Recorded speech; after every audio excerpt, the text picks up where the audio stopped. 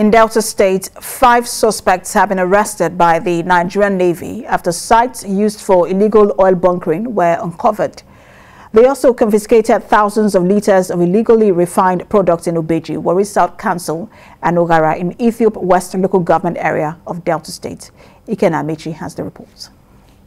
According to the NNPC, Nigeria loses about 400,000 barrels of crude oil every day to oil theft. The latest discovery in Ubeji, where illegal oil bunkering activity is going on daily unnoticed, is just one of many ways the product is stolen. Stored in these drums, two suspects and other at large carry out this activity unhindered.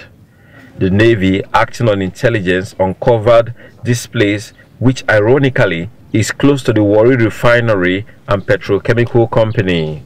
And uh, what they do here is behind the fence, there's a adjoining creek they come in with wooden boats loaded with uh, drums and uh, polythene bags loaded with products, then discharge it into the tanks. Then uh, in front of me here is a truck. So these trucks come in, load the products, and uh, take it away to whatever destination they want to.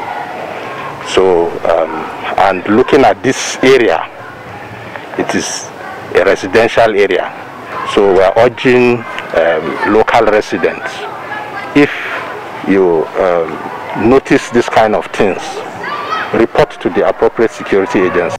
Another site in Oghara was also discovered where these suspects stored their illegal product for onward distribution. Coordinator of the Operation Delta Hawk, a joint military operation in the state, speaks on what will happen to these sites.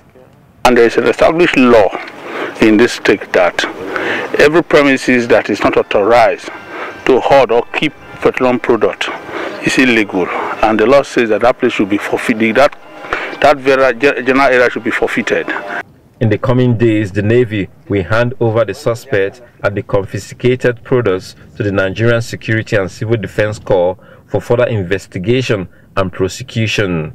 Outside the negative effect on the economy of the nation, the impact of the activities of the illegal bunkering on the environment is quite great. Ikenna Amechi, TVC News, Asaba.